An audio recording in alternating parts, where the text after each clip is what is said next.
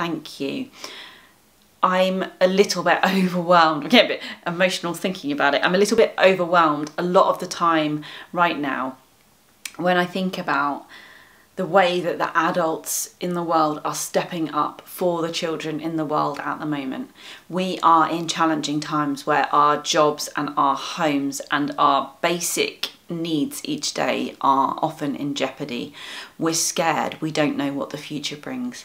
And yet, you find it in yourselves to have fun, to keep going, to create a warm and nurturing environment for the children in your care. And it's incredible. So, thank you. This, this, more than anything, is what will keep them safe and make sure that even though they are living through such an interesting time, that they can and will thrive. Good luck.